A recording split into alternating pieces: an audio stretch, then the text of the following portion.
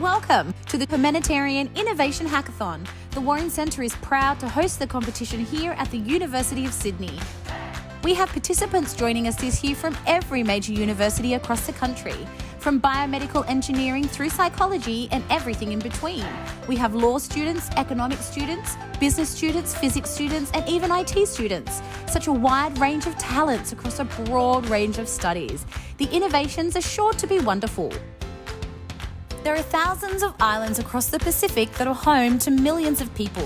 While Australia and New Zealand are amongst the 10 highest developed countries, on the UN Human Development Index, five countries are officially classified as the least developed countries Kiribati, Tuvalu, the Solomon Islands, Timor Leste, and Vanuatu.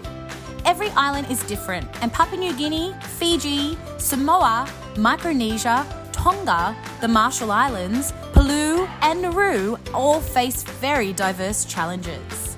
About 1,500 different languages are spoken in the Pacific Islands region. That's about one quarter of the variety of all human speech. Dividing the Pacific Islands region into three parts, there's around 11 million people who live in Melanesia, but Micronesia only has about 500,000 people. The relatively more developed Polynesian region has about 600,000 people. As the people in the region work to improve their lives, they seek not just short term economic boosts, they seek sustainable development. The United Nations Sustainable Development Goals, the SDGs, launched in 2015 and are a comprehensive and concise declaration of mankind's aspirations for future development that is balanced and fair.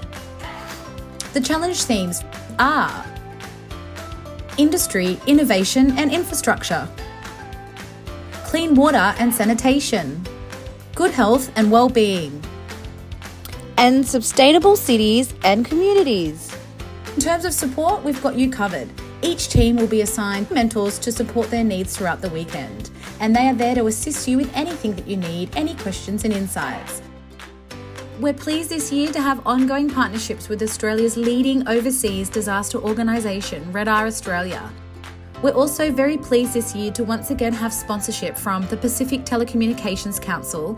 We have awards, cash, and prizes worth over $10,000. We're looking forward to an exciting weekend of hackathon activities. Check out the program, which includes a number of fun diversions to break up screen time, and get ready to settle in for an experience that will change the way that you look at our neighbours on the Pacific Island. Enjoy the hackathon.